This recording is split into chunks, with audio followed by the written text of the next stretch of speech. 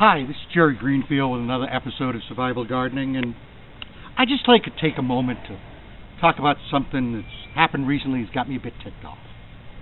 Now, folks at Scientific Solution advertised their survival seed bank on a national radio show. I don't want to mention any names right now, but got a lot of blowback from people who just claim you don't need non-hybrid seeds to spend that money. You just go down to your local Walmart or Kmart or somebody's mart and pick up those little seed packets. They'll bring them home and plant, and things are going to turn out just fine. Well, there's several things wrong with that theory.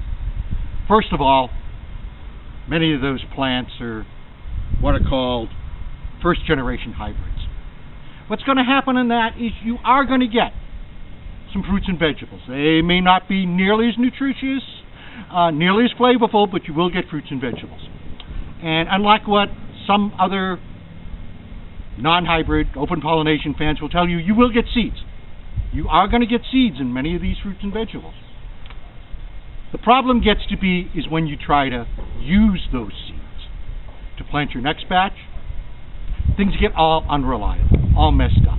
Some plants are going to grow fine, Others are going to turn into something like you've never seen before. Some aren't going to come up. Uh, you want reliable seeds that you're going to be able to use over and over again? I recommend the survival seed. You just have to buy it once. These are some green arrow peas here that we got from the survival seed bank. We planted these about a month ago.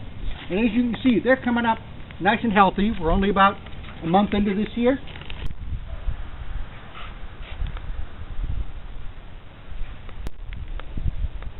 And these are going to be good peas. And these are the type of things you get when you use non-hybrid open pollination seeds.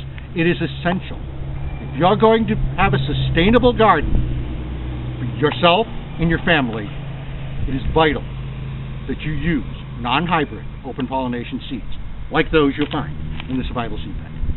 Thank you. This is Jerry Greenfield, and we'll see you again on Survival Gardening.